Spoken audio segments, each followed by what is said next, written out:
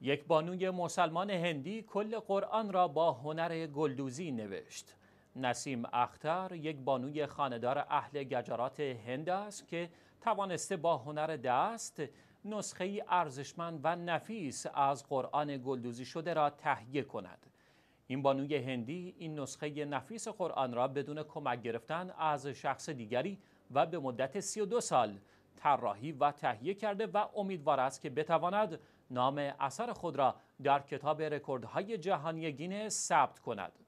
در این قرآن گلدوزی شده حدود دوازده رول پارچه استفاده شده و عرض آن 45 اینچ هر اینچ حدود 2.54 صدم سانتی متر و طول آن 900 اینچ است و گلدوزی هر دو سطر این قرآن یک روز کامل زمان برده است.